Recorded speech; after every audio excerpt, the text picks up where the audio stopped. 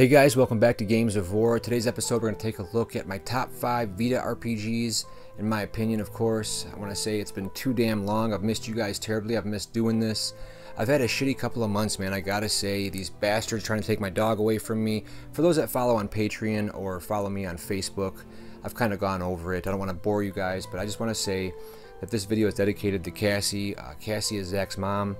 Uh, we were high school sweethearts and we got married shortly after and had Zach obviously and she got into some bad shit after about two years of marriage and we had to end up divorcing and she wasn't in Zach's life for a long time and uh, she got into some really bad shit. September 20th she passed away and Zach's been really messed up about it. It was really tough for him. If you guys have had a loved one or a friend or you've gotten in a fight with someone and haven't spoken in years, even though it may seem trivial, nothing in life is trivial. Just please try your best to make up.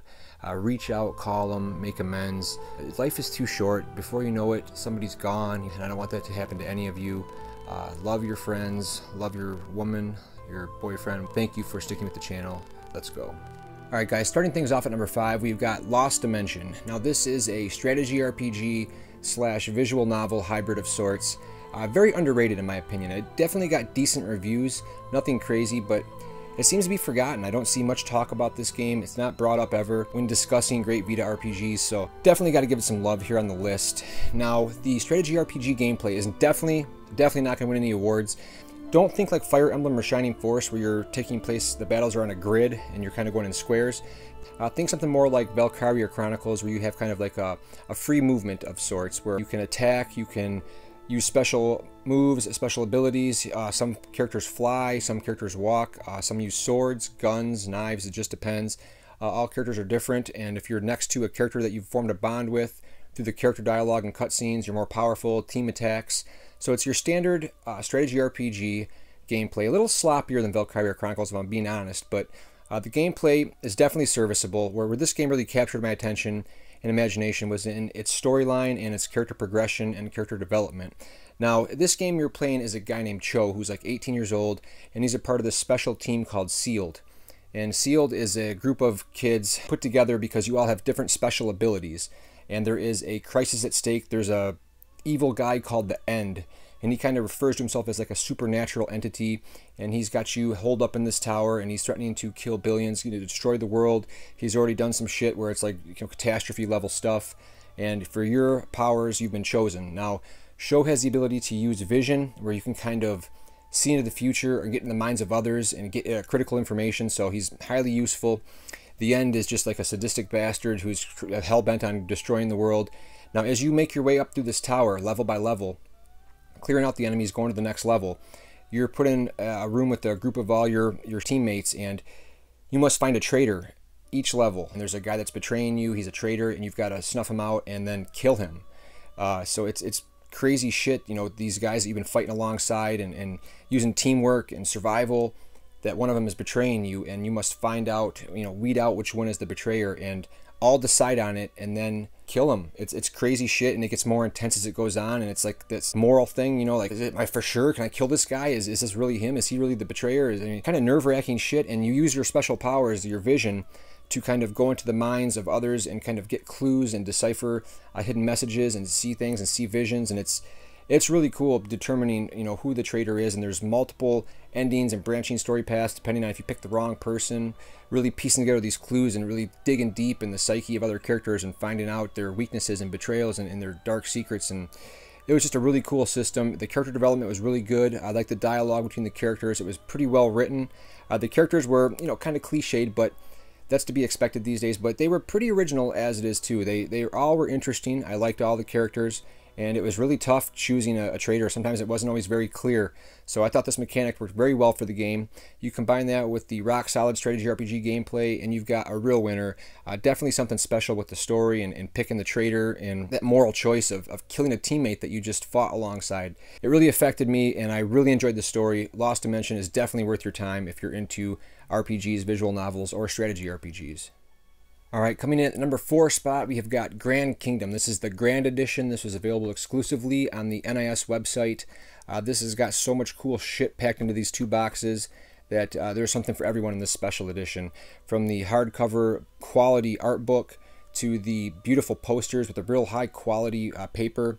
Uh, you've got some amazing pins, uh, soundtrack CD, some great stickers, a ton of great stuff in this. Definitely a great value. I know Grand Kingdom itself is not very much story focused, so I'm usually into more story driven RPGs. But when it's a game like this that kind of takes me back to playing Dragon Force on the Saturn, where the gameplay kind of takes place on like a almost like a board game layout, to where you've got like a little peg as your uh, army, and you kind of move along the different spaces, and then the enemy moves as, as you move. And it's uh, the battles take place on kind of like a Coda Princess or Guardian Heroes type plane, where you've got three different planes you can switch between and then you've got different character classes that uh, do different things like combat, straight combat combos, uh, laying traps, setting traps, and uh, some characters have bows and arrow, you know, swords. I mean, there's combo canceling. There's there's kind of like different strategies for each different kind of character class, and there's a big emphasis on class and class leveling up and changing classes, and it's all about the combat, which is very enjoyable, which it, it damn well should be when the game takes place. You know, that's the bulk of the gameplay experience is the combat. Uh, very little story. There is four kingdoms that are all at war and kind of vying for position and vying for power as a dominant kingdom out of the four. And it's got a really cool online component. I'm not sure, there's not that many people online anymore playing it, but in the beginning it was pretty active and you kind of pick an army and you go to war and there's other people online you're going to be going to war with them or against them, and you're going to take over different castles, different strongholds, and you kind of team up with other people. And there's a set number of moves that you have to take over this castle, and if you fail to meet those requirements, you'll fail the mission. Uh, some great rewards and great exclusive gear that can only be done online through this war mode. Um, I loved Dragon Force back in the day. It was just a game that kept on giving in terms of its battle system and strategic, uh, sending units out to certain uh, areas to capture or recruit more or send them out to battle. And that's kind of what this feeling gave me. The combat is great. The combo focused battle system was really fun. Uh, great looking visuals. Production value is through the roof on this. Uh, tons of content to keep coming back for more. If you're into RPGs that focus solely on combat, light on story, but just amazing character, class, uh, character development, and really investing into these armies and getting attached to characters, not because of storyline or personality or uh, twists and turns, but because of your bond with the way they fight. They're watching the character go from a lowly level to ranking up his class into a full-fledged warrior that's this awesome specials and you can kind of customize their special moves and customize their combos. That is where the genuine bond comes from this game is watching your character grow into that fighting machine and upgrading them all along. And I fell in love with Grand Kingdom. I put about 70 or 80 hours into this and I haven't even scratched the surface. So tons of content, great RPG. Grand Kingdom is definitely highly recommended. So coming in at the number three spot, we've got Ar nosurge Ode to an Unborn Star. Now this is a beautiful limited edition that was available exclusively on the NIS website. Uh, it sold out really quick and it now fetches insane prices on eBay. Thankfully the PS3 version is still very affordable, so if you do want to play this game, there are other options available. Now I fell in love with this Ar nosurge right away, and my love for this kind of game dates back to Ar tonelico on the PS2, uh, the dive system that introduced me to what is now today known as the cringe. Over the top dialogue, very sexual in nature, very Japanesey, and it is in the dive system. Now, the dive system was kind of gameplay mechanic that was very visual novel like in its approach, where to get more information, to get better acquainted with your female party, to get more character development, you kind of dive into their subconscious, into their psyche, and it was handled very oddly as you inserting yourself into them and they think oh oh please be careful it's my first time. I was like what the what the shit am i playing? This is insane.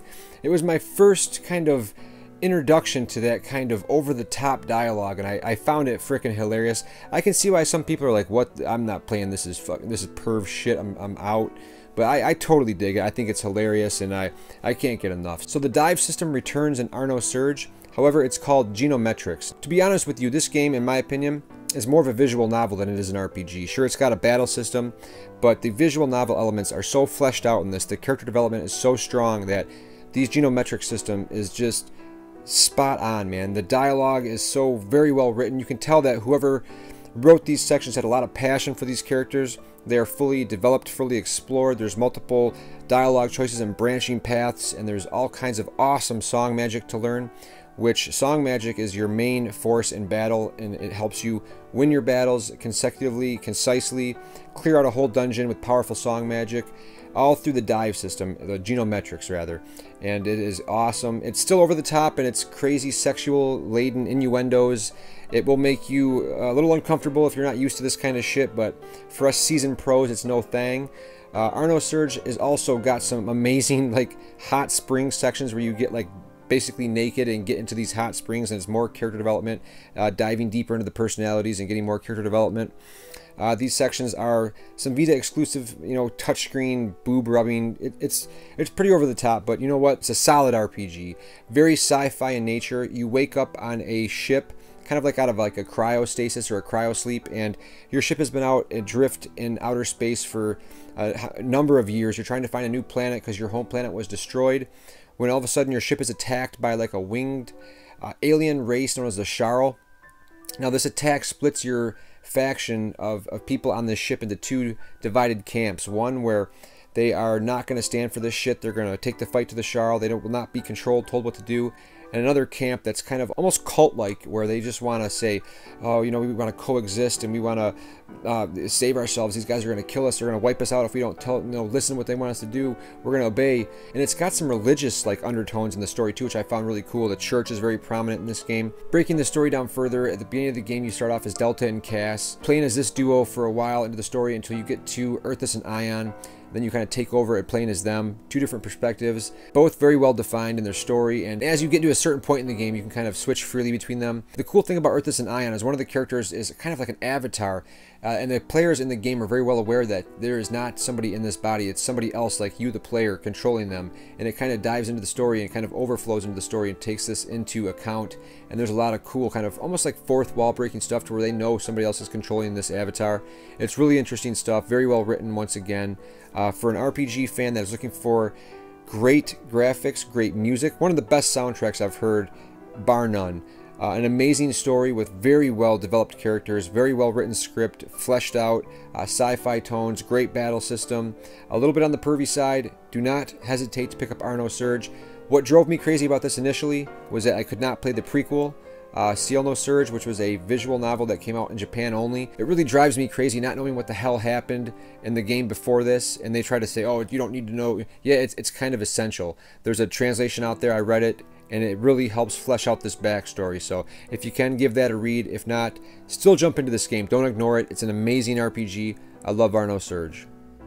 Number two, we have Tales of Hearts R on the Vita, and now this is a port of a DS game that came out in Japan, Tales of Hearts.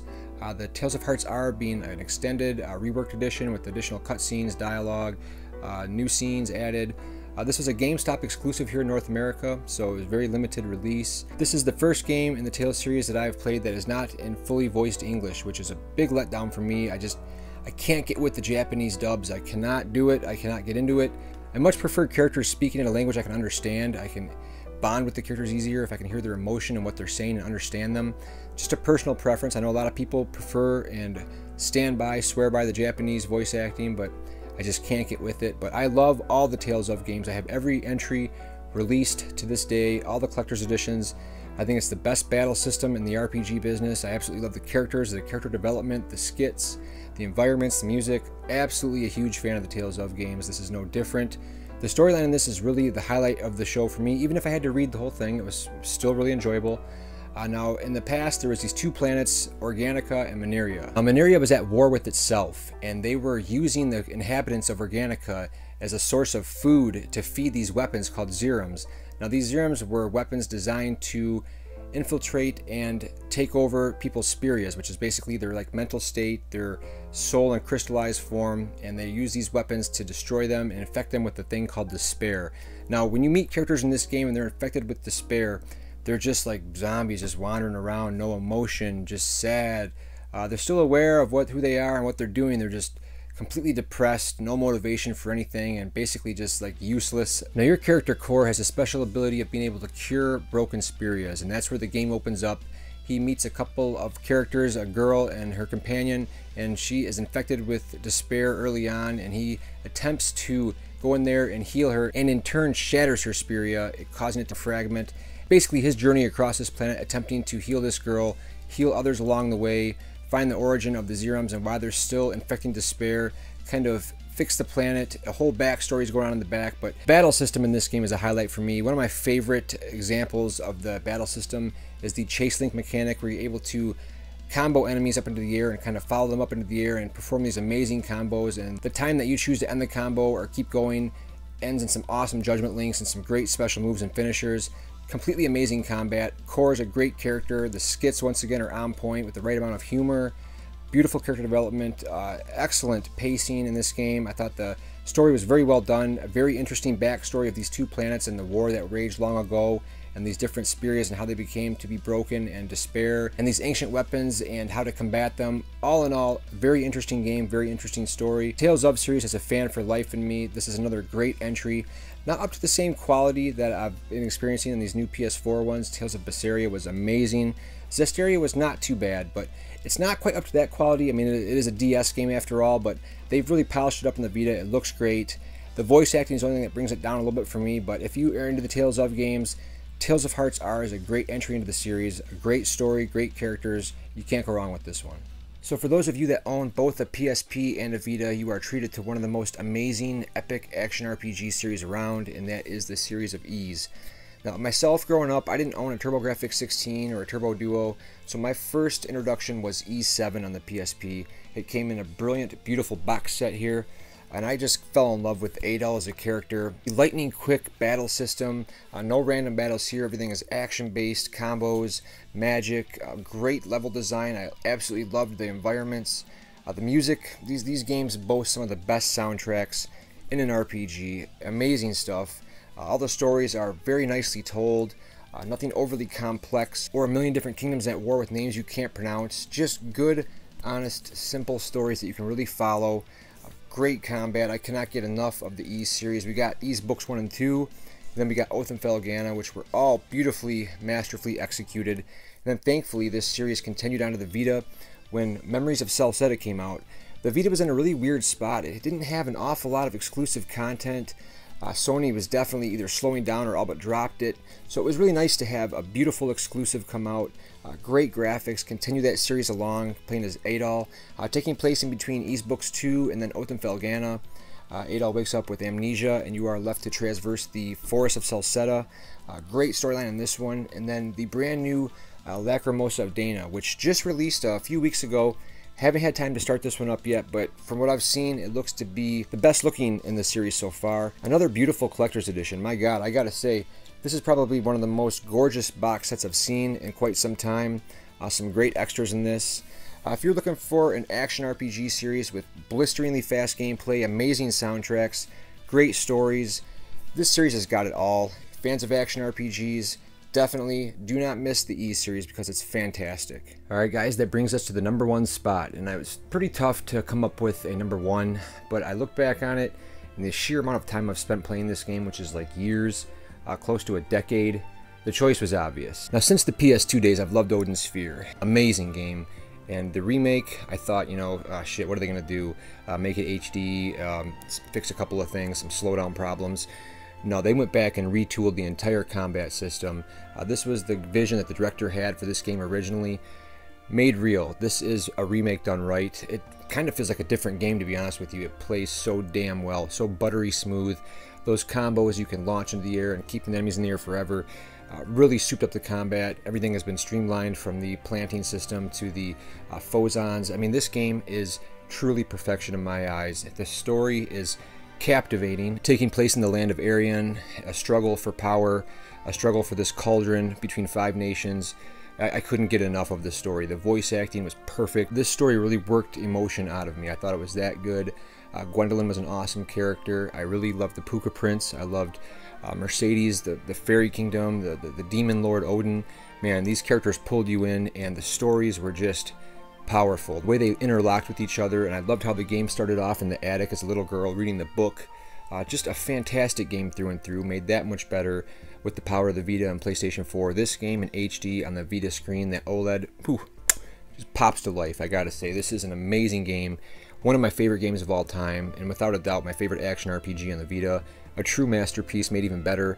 Uh, this is the collector's edition that came with the PS4 version. But it's just a beautiful game. I've also got to mention Vanillaware's other two stellar games available on the Vita. Uh, Muramasa is a fantastic action RPG, an updated port of the Wii game. I really enjoyed this game quite a bit. Action RPG done to perfection. The visuals could pass for a Japanese postcard, kind of a water painting come to life. So bright and vibrant, and they just pop off that OLED screen as well. Uh, really cool gameplay as well. The combat is just fantastic, based around all these different blades you can find. You can equip two blades at once, so like a long blade and a regular blade, and they kind of break down as the combat goes on. You have to switch them, and then you can bust out some more combos. The juggles are amazing. The storyline's really cool, involving uh, two different playable characters. Uh, one girl being like a possessed with uh, an evil spirit, the other being a ninja who is got amnesia and he's on the run for a crime that he doesn't remember committing. So uh, the stories are really cool, and they kind of weave in and out of each other, and the stories characters at first seem like separate stories, but they kind of go way back. The families are intertwined in this this amazing tale. So another great action RPG. Doesn't have the amazing voice acting that kind of pulled me in even more with Odin Sphere, but uh, you can read the text and do just fine. Uh, Dragon's Crown is a fantastic action RPG co-op. Uh, amazing graphics once again. I absolutely adored the voice acting in the town, and it's just got that big high fantasy vibe, man. It's just great artwork. Uh, great voice acting, great looking characters, excellently drawn. They come to life on the Vita screen. Uh, you can gather up your new weapons and armor and gear, always upgrading new gear, and then take it down below to the catacombs and the sewers beneath the city and just go for some intense combat. There's always a ton of enemies on the screen at once. Great combos, a lot of fun leveling up your characters. Co-op action RPG gameplay doesn't get any better than Dragon's Crown. Truly a fantastic company Vanillaware is. I'm such a big fan of the art style. As soon as you see that striking art style, you know it's a Vanillaware game. So they've pumped out some amazing games. Odin Sphere definitely takes the number one spot as my favorite. Now, what would a Games of War top 5 video be without some honorable mentions, bringing the total like 20? Uh, for those of you that get annoyed by more than five games, I really apologize, but once I get started, I can't stop. Child of Light is an amazing RPG that I would not have played due to it being digital. Now, as bad as that sounds, man, I just, back a few years ago, I could not get into the digital thing. Nowadays, I, am more open to it because there's always a sale going on, and I'll pick it up on the cheap digitally, and if I like it a lot, chances are it's getting a physical release. Uh, this is a generation that a few years ago we thought, oh god, digital only future, but now that looks even more of a thing in the past because most good games come physical, and I'm so happy that the direction this is going in. So Child of Light I would have ignored, but the Vita version here, and this is the only physical version of this game available, I believe. Uh, an amazing RPG running on the Ubisoft like framework engine that powers Rayman, Rayman Origins. Uh, this is a beautiful action RPG with some stunning graphics, a really nice storyline, a great battle system that kind of takes me back to the timing-based Grandia combat system where there's a meter along the bottom of the screen and you can cancel out enemy attacks by choosing the right time. Environments are beautiful and a lot of fun to explore. The only thing that was kind of cheesy about this game is all the dialogue, like the sentences rhyme. Not a huge deal, but it just felt kind of forced. But other than that, this is an amazing game. Truly one of the best action RPGs available. Don't miss Child of Light just because it's digital. It's, it's an amazing game. Trillion God of Destruction just might be the funniest RPG I've ever played in my life. This is done by key members of the Disgaea team, and that humor shows through in spades. I'm telling you, if one of these six overlords that you are trying to vie for the affection of and become closer with and form bonds with do not make you laugh, then you've got no soul. Uh, the main overlord in this game is fighting Trillion, who kind of wipes him out and kills his brother early on, and just, he's just crushed. He can't believe he's been defeated.